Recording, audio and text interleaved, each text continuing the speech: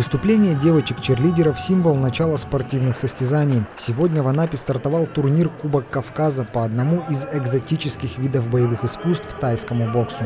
Для нашего города знаковое событие в части этого вида спорта. Уверен, популяризация данного вида спорта не остановится, и мы будем поднимать и развивать данный вид спорта в нашем городе, в крае в целом. Хочу всем пожелать красивых боев, самое главное – без травм, победит сильнейший. Россия очень сильная страна, она многонациональная, многоконфессиональная страна, и она сегодня очень нуждается в таких ребятах, как вы, дружных, спортивных, современных и успешных. Удачи!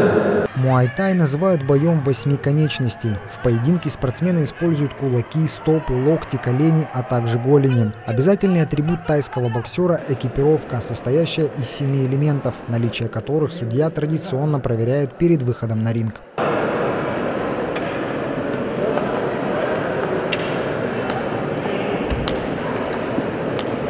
Марк преодолел более 4000 километров, чтобы принять участие в турнире. В первом бою на Кубке Кавказа ему противостоял спортсмен из Республики Дагестан. По окончанию первого раунда Марк уступал своему оппоненту, и тренер решил поменять тактику. Побыстрее начинай, и сам там же контроль колено, колено, колено, все жилет.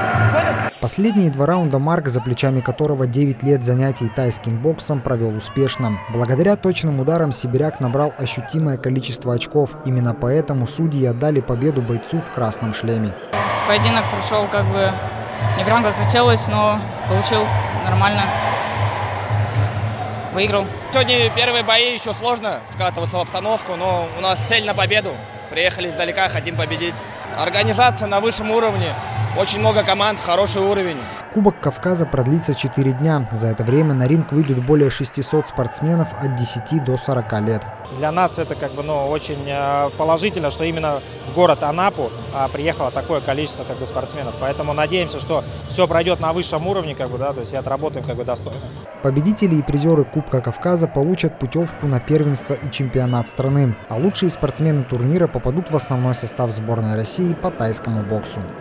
Никита Васюхин, Михаил Попов, Анапа регион.